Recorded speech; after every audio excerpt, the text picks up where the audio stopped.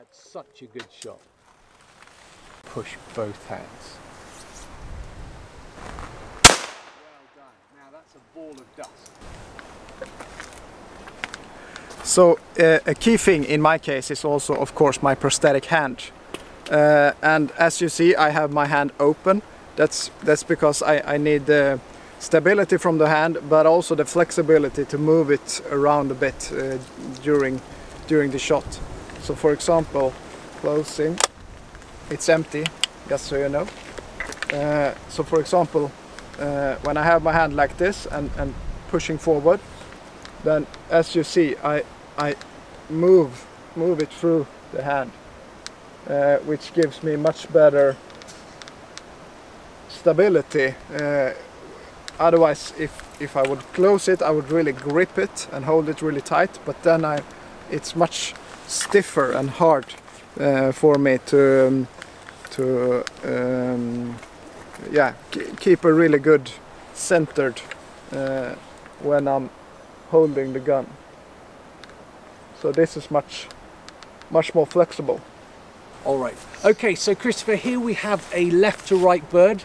You are obviously right-handed, so Yeah. anything traveling from left, left to right, we come to a point where we hit our elastic limit a little bit earlier than our natural swing from right to left. Yeah. So here you're facing dead center. Yeah. So now what I'd like you to do is bring your feet round so your chest is at least 45 degrees further to the right. Like this. Absolutely right.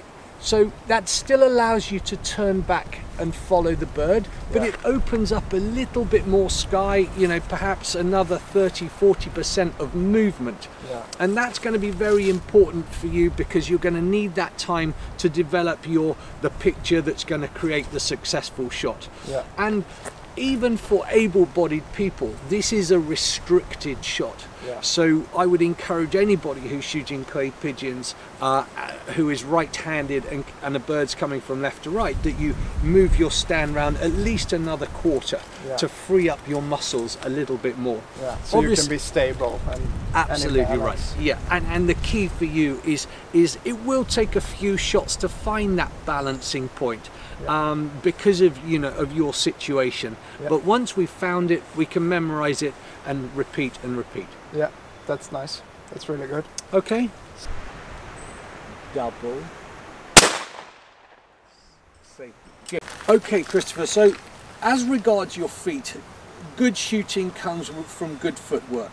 As your feet are set up at the moment, it would be to shoot a very linear bird, a bird going away from you or a bird coming directly over your head. Yeah. We're now taking on a bird that travels from left to right, which is your backhand as a right-hander. So now, turn your feet round further to the right. Keep going. Well done. Excellent.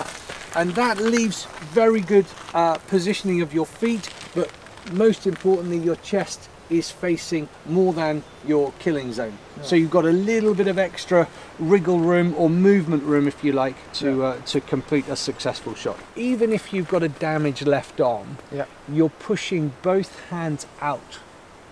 So when the gun comes up, Yeah. it comes up in the same angle or the same plane.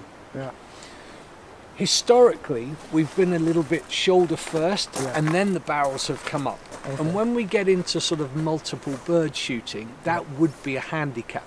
Yeah. But now you're pushing both hands together, you're going to be able to get a much um, more accurate and swifter connection to the bird. Okay. Um, and that's going to set you in good stead for this competition. Yeah, that's good.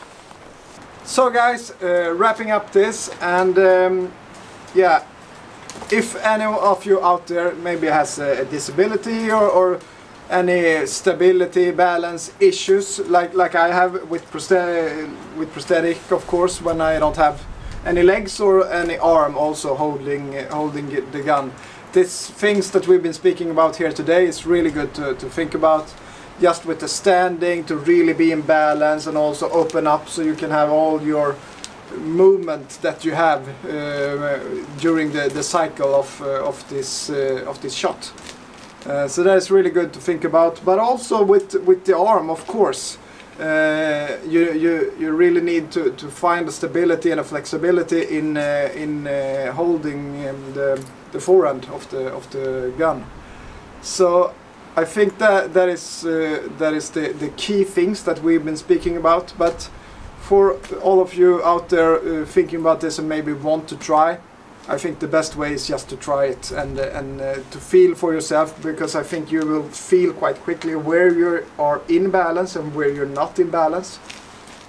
And also with uh, just holding and, and and holding the gun and being balance throughout the the holding position as well. Just just feel it, and you don't even need to to um, make any shots. You can just feel it, feel feel in uh, with the gun, uh, and I think that's really good. And it's I, I love this. I love being outdoor and doing outdoor activities. So this is this is really perfect.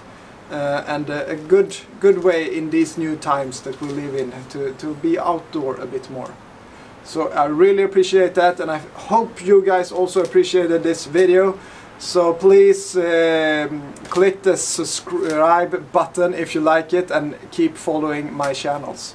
So thank you all for watching and hope you have a lovely day because that I will have. Ciao ciao!